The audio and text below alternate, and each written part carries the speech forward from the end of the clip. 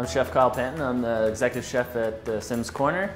I'm from Belfast, Prince Edward Island, and that's the bolts. Yeah, so what really inspired me was my mother was actually a, a full-time chef slash cook when I was growing up. I got in the kitchen when I was 15 and started dishwashing and then kind of got on the line and ever since I've been going full tilt at it. PEI is like a gold mine when you think about it. Uh, you know, we have the fresh seafood all the way around us. Now we have this beautiful beef product, which I'm super pumped about because, you know, that's my number one thing at the restaurant, at the steakhouse. Then we have all this beautiful soil that grows amazing vegetables and produce. All the producers on, producers on PEI, they're welcoming.